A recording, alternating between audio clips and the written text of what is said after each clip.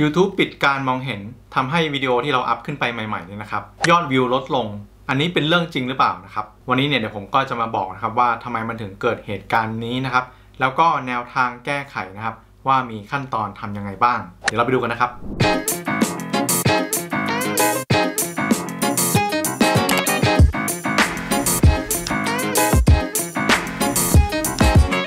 สวัสดีครับ ผมเซียนเป็ดนะครับ ช่องผมแนะนำการหาเงินออนไลน์ครับ ผมจะอัปโหลดวิดีโอทุกวันอังคารและวันพฤหัสนะครับ ถ้าไม่อยากพลาดเทคนิคการหาเงินออนไลน์ใหม่ๆนะครับ อย่าลืมช่วยกด subscribe นะครับสำคัญเลยก็คือกดกระดิ่งแจ้งเตือนนะครับ ไม่งั้นมันเนี่ยมันจะไม่เด้งแจ้งเตือน มีคำถามอะไรก็อย่าลืมนะครับแอดไลน์เซียนเป็ดนะครับแอดไลน์เข้ามาคุยกับผมได้ วันนี้เนี่ยผมก็จะมาพูดถึงเรื่องของการทำ YouTube นะครับ การหารายได้จาก YouTube ใครที่เพิ่งมาดูวิดีโอนี้เป็นวิดีโอแรกนะครับ ผมได้ทำ list นะครับ การเริ่มต้นทำ YouTube ต้องทำยังไงบ้างครับ ก็คลิกเข้าไปดูนะครับ โอเคครับ คนที่ทำคลิปแล้วยอดวิวเนี่ยมันลดลงเนี่ยมันเกิดจากอะไรบ้างนะครับ มันมีหลายปัจจัยโคตรเลยนะครับ เมื่อก่อนเนี่ยผมคิดแค่ว่าการทำ SEO นะครับ คือตั้งชื่อ keyword อะไรให้เรียบร้อยแล้วเนี่ยนะครับ แค่นี้มันก็น่าจะทำอันดับง่ายๆเนาะ แต่เปล่าเลยนะครับ พอได้มาศึกษาแบบดำดิ่งลึกลงไปนะครับ ก็พบว่าเนี่ยมันมีขั้นตอนที่มันซับซ้อนกว่านั้นนะครับ แต่นะครับหลักการเนี่ยนะครับมัน simple นะครับมันง่ายมากๆเลยก็คือนะครับเราต้องเข้าใจก่อนว่า YouTube เนี่ยเขาอยู่ได้เพราะว่าค่าโฆษณานะครับเขาให้คนเนี่ยเข้ามาสร้างคอนเทนต์ในแพลตฟอร์ม YouTube ของเขานะครับในบ้านของเขาเขามีรายได้จากการโฆษณา แล้วเนี่ยโฆษณามันเกิดจากอะไร มันเกิดจากคนดู คนที่เข้ามาดู YouTube คนที่เข้ามาดูวิดีโอเขาจะรายได้มากขึ้นหรือน้อยลงเนี่ยมันขึ้นอยู่กับว่า วิดีโอนั้นนะครับคนดูเยอะไหมวิดีโอนั้นเนี่ยนะครับคนดูดูนานไหมดูวิดีโอจบแล้วเนี่ยดูวิดีโออื่นต่อหรือเปล่า เราลองนึกดูนะครับว่าเนี่ยวิดีโอเนี่ยนะครับมีคนอัพคลิปทุกๆ วินาทีนะครับแล้วคิดว่าเขาจะเอาอะไรมาเป็นเกณฑ์ในการตัดสินนะครับ แน่นอนครับเขามีตัวสิ่งที่เรียกว่าอัลกอริทึมหรือว่าเป็นบอทนี่ยนะครับที่จะมาแยกแยะนะครับ คัดแยกนะครับว่าเออเดี๋ยววิดีโอนี้นะ ฉันจะเอาไป ขึ้นไปอยู่ในผลการค้นหาอันดับต้นๆใน YouTube วิดีโอนี้นะ เดี๋ยวฉันจะเอาไปไว้ในวิดีโอนะครับแนะนำนะครับให้คนอื่นรู้จักวิดีโอนี้นะ ฉันจะเอาไปไว้หน้าแรกเลยนะครับ หน้าแรกของ youtube.com เลยนะครับ ซึ่งมันก็แน่นอนครับ มันมีหลักการ มันมีเทคนิคในการทำนะครับ ซึ่งหลักการเนี่ย มันก็คือสิ่งที่เรียกว่านะครับ เราจะต้องทำวิดีโอให้หนึ่งนะครับ คนดูดูจนจบ หรือว่าทำยังไงก็ได้ให้ดูวิดีโอของเราเนี่ยเกือบจบนะครับ อันดับแรกนะครับ นับ2นะครับเราจะทำยังไงให้คนดูวิดีโอของเราเนี่ยดูวิดีโออื่นของเราต่อ หรือว่าดูวิดีโออื่นนะครับใน YouTube เนี่ยทำให้เวลาในการรับชมอยู่ในแพลตฟอร์ม YouTube ของเขาเนี่ยมันนานขึ้น เพราะว่าเขาจะได้ค่าโฆษณามากขึ้น อันที่ 3 ก็คือทำยังไงทำวิดีโอของเราเนี่ยนะครับจะทำให้คนกดไลค์กดคอมเมนต์กดแชร์นะครับกด subscribe กดกระดิ่งนะครับทำยังไง 3 หลักนี้นะครับเราได้ทำหรือเปล่า ถ้าเราทำวิดีโอมาแล้วคนดูเนี่ยเปิดมาปุ๊บ คนดูปิดเลย ถามเพื่อนๆหน่อยว่าวิดีโอแบบนี้เนี่ย YouTube เขาควรจะให้ไปอยู่ในผลการค้นหาอันดับต้นๆไหม เขาควรจะแนะนำวิดีโอเนี้ยไปให้คนอื่นดูไหม แน่นอนคำตอบก็คือไม่ เพราะว่าอะไรนะครับ ถ้าเอาวิดีโอห่วยไปแนะนำคนไม่ดู YouTube คนหันไปเล่น TikTok กันหมดเลยนะครับเขาก็ขาดรายได้นะครับ แพลตฟอร์มเขาก็อยู่ไม่ได้ นั้นเนี่ยไอ้พวกเว็บไซต์ที่มันเป็น YouTube Facebook อะไรพวกนี้เนี่ยนะครับเขาจึงแบบ เน้นมากๆเลยว่าคอนเทนต์ต้องดีนะครับคอนเทนต์ต้องทำให้คนอยู่ในแพลตฟอร์มเขานานๆนะครับเหมือนเราเล่น Facebook อะครับ ถ้าเราเล่น Facebook แล้วโฆษณาโคตรเยอะเลยนะครับ ทีนี้เนี่ยคนก็จะหนีออกจาก Facebook ไปกันหมดนะครับ Facebook เขาก็เลยต้องมาปรับอัลกอริทึมปรับเปลี่ยนต่างๆนะครับทำให้โฆษณาเนี่ยนะครับมันแข่งขันกันดูดเดือดมากขึ้นนะครับ แต่ว่ามันจะได้กลุ่มเป้าหมายโฆษณาที่มันตรงมากขึ้น YouTube ก็เช่นเดียวกันนะครับ ถ้าคนเนี่ยไม่ติดนะครับไม่ติดหนึบอยู่ใน YouTube คนก็จะเห็นโฆษณาน้อยนะครับ ดังนั้นเนี่ยนะครับหลักการง่ายๆ มันมีแค่นี้ ดังนั้นเนี่ยนะครับก็ต้องเข้าใจกันก่อนว่า แล้ววิดีโอที่เราอัพขึ้นไปเนี่ยนะครับเขาจะเอาเกณฑ์อะไรมาวัดว่าเออวิดีโอนี้เนี่ยคนดูดูจบนะนะครับถ้าช่องที่มี subscriber เยอะๆอยู่แล้วเนี่ยนะครับคนที่จะมาตัดสินนะครับลองนึกถึงกรรมการนะครับ กรรมการนั่งเรียงเป็นตับเลยนะครับ คนที่นั่งเรียงเนี่ยก็คือ subscriber นะครับไอ้พวก subscriber นี่แหละนะครับไอ้พวกที่ได้ดูวิดีโอของเราตอนที่เราอัพขึ้นไปนี่แหละ พวกนี้แหละที่จะเป็นคนตัดสินว่าวิดีโอของเราเนี่ยจะถูกปิดการมองเห็น หรือว่าจะทำให้วิดีโอของเราเนี่ยปังไม่ปังยังไงนะครับดังนั้นเนี่ยนะครับ subscriber หรือว่าคนดูกลุ่มแรกที่ได้ดูคลิปของเรานะครับ จึงโคตรสำคัญ เพราะว่า คนที่ดูคลิปแรกๆนะครับที่เราอัพขึ้นไปเนี่ยนะครับถ้าเขาดูวิดีโอเนี่ยดูจนจบเขามีส่วนร่วมกดไลค์คอมเมนต์แชร์นะครับเขาดูวิดีโอแล้วดูวิดีโออันอื่นต่อในช่องเรา ดูวิดีโออันอื่นต่อใน YouTube นะครับเนี่ยวิดีโอแบบนี้เนี่ย YouTube ก็เลยรู้ว่าโอเค คนกลุ่มแรกที่ดูเนี่ยเขาให้คะแนนแล้วว่าวิดีโอนี้ดีหรือว่าไม่ดีดังนั้นเนี่ยนะครับเราก็จะ เข้าใจแล้วใช่ไหมครับว่า subscriber เนี่ยการที่ตรงกลุ่มเป้าหมายเนี่ยนะครับมันสำคัญแค่ไหน หรือว่าถ้าเราลิงก์ไปแปะในช่องทางอื่นๆเนี่ยแล้วเราได้คนที่ไม่ใช่เนี่ยเข้ามาดูคลิปเราเนี่ยเห็นไหมครับว่ามันส่งผลร้ายแค่ไหน ตรงกันข้ามถ้าเราได้กลุ่มเป้าหมายกลุ่มคนดูนะครับที่โคตรตรง และเราเองเนี่ยทำคอนเทนต์ที่ตรงใจเขาสิ่งที่เขาอยากรู้อยู่พอดีนะครับทำครบกระบวนการนะครับ คลิปนี้เนี่ยกรรมการก็บอกว่าเยี่ยมมากอะขึ้นอันดับหนึ่งไปเลย ลิปนี้เนี่ยเอาไปให้คนดูเห็นเยอะๆเลย เพราะว่าคนดูจะได้เห็นโฆษณาเยอะๆนะครับเขาก็จะได้ตังค์เนี่ยหลักการมันก็มีแค่นี้เองนะครับ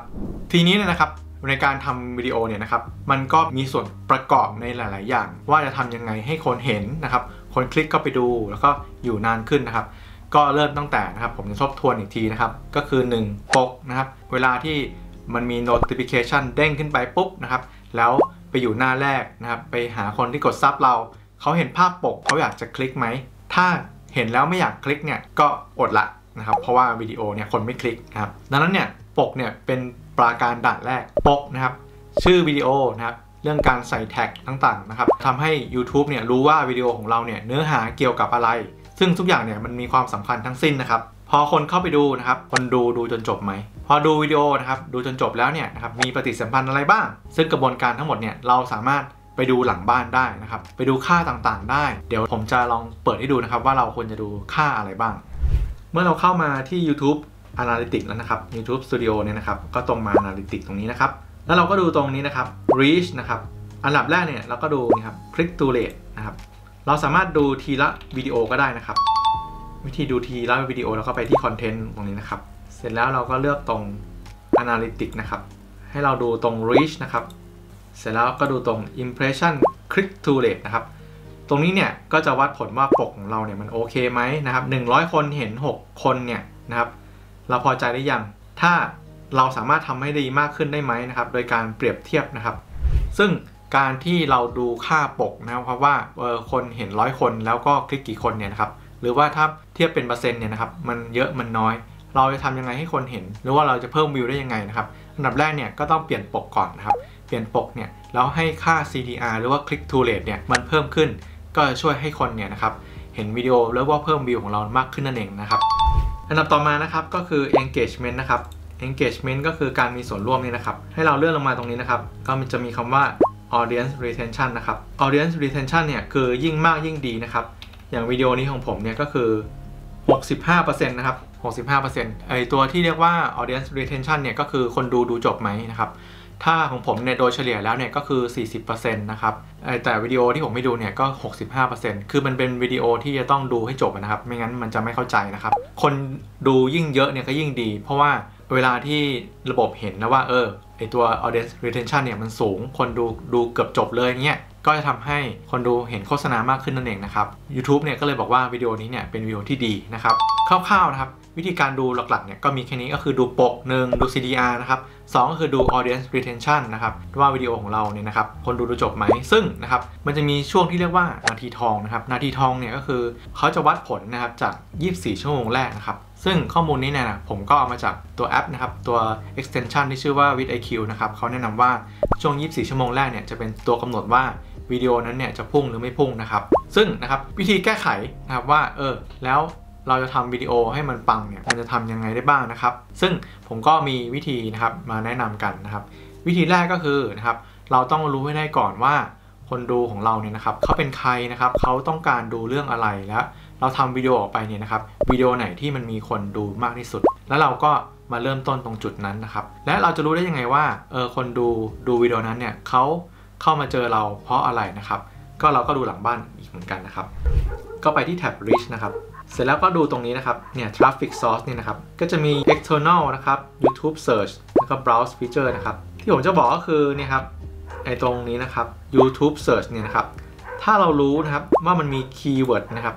เนี่ยมันมี keyword นะครับถ้าเราเจอ keyword แบบนี้เนี่ยก็ถือว่าโอเคเลยนะครับ เพราะว่าอะไรเพราะว่าคนดูเนี่ยเขาพิมพ์คำว่าอะไร แล้วเขามาเจอวิดีโอเราเพราะคำว่าอะไรนะครับ ก็แสดงว่าถ้าเราปรับแต่ง keyword นะครับด้วยสิ่งที่เขาค้นหามาเนี่ยนะครับ ก็จะทำให้วิดีโอของเราเนี่ยนะครับมันดีขึ้นทำให้คนเห็นมากขึ้นนะครับหนึ่งสองก็คือเรา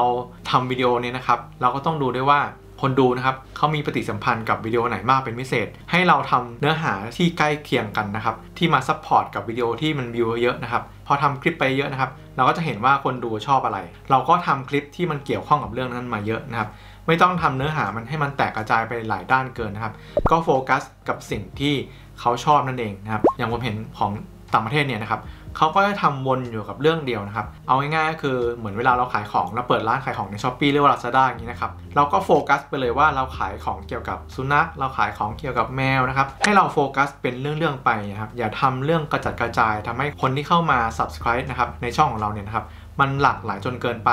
ซึ่งตรงนี้เนี่ยก็เป็นข้อผิดพลาดของช่องของผมนะครับว่าผมได้คนที่ค่อนข้างจะหลากหลายทางจนเกินไป เพราะว่าในช่วงต้นเนี่ยผมทำช่องเนี่ยนะครับผมจะเน้นไปทางอีคอมเมิร์ซเป็นหลักนะครับพอช่วงหลังๆเนี่ยผมก็จะมาเน้นเรื่องของการทำ internet marketing นะครับ affiliate AdSense เนี่ยกลุ่มเป้าหมายเนี่ยนะครับมันก็ทับซ้อนกันมันคนละกลุ่มกันนะครับไม่มันไม่เชิงเป็นกลุ่มเดียวนะครับคือผมไม่ได้ทำโฟกัสตั้งแต่ต้นนะครับซึ่งก็ทำให้วิดีโอช่วงหลังผมเนี่ยนะครับ ก็คนดูยอดวิวลดลงนะครับ ซึ่งมันก็เกิดจากการที่นะครับผมทำเนื้อหาสะเปะสะปะ ตรงนี้เนี่ยก็เป็นข้อผิดพลาดนะครับเขาเพื่อนๆก็ลองไปเช็กนะครับว่าธีมของช่องเราเนี่ยนะครับมันเฉพาะเรื่องแล้วก็เนื้อหาเนี่ยมันเฉพาะเจาะจง แล้วก็โฟกัสไปเรื่องที่คนสนใจจริงๆเท่านั้นนะครับ นอกจากดูว่า keyword นะครับคนสนใจค้นคำว่าอะไรมาเจอวิดีโอของเรานะครับ เราก็ไปดูด้วยว่าเออแล้ววิดีโออะไรที่มันแนะนำนะครับ เราก็เข้าไปที่นะครับที่เดิมนะครับ แล้วก็ดูตรงคำว่า suggested video นะครับ แล้วก็ดูนะครับว่า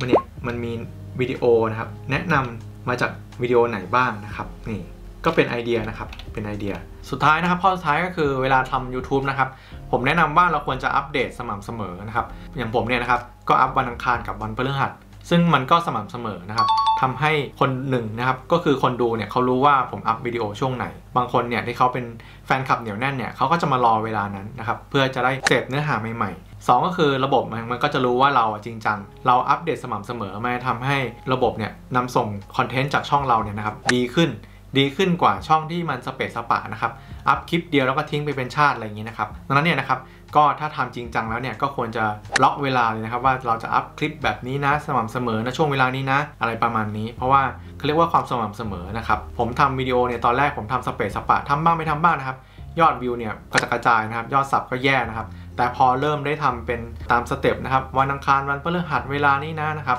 แน่นอนครับ subscriber พุ่งทะยานยอดวิวพุ่งทะยานนะครับแล้วก็ทำร่วมกับการทำคอนเทนต์แนวไวรัลนะครับสำหรับใครที่อยากจะรู้ว่าผมช่องผมโตนะครับเป็นแสนสับเนี่ยนะครับผมมีเทคนิคยังไงเนี่ยเดี๋ยวจะใส่ลิงก์นะครับดาวน์โหลดอีบุ๊กก็ลองเข้าไปอ่านกันได้นะครับ ฟรีนะครับโอเคครับ คลิปนี้เนี่ยก็เรื่องของการปิดการมองเห็นใน YouTube นะครับ ก็คิดว่าน่าจะเป็นประโยชน์กับเพื่อนๆ แล้วก็ลองเอาไปปรับใช้กับช่องของตัวเองนะครับ ถ้าชอบวิดีโอนี้เนี่ยก็อย่าลืมกด คอมเมนต์นะครับ กดไลค์ กด subscribe นะครับ กดกระดิ่งแจ้งเตือน มีคำถามอะไรก็คอมเมนต์ถามไว้ได้นะครับ แล้วพบกันใหม่วิดีโอหน้านะครับสำหรับวันนี้ สวัสดีครับ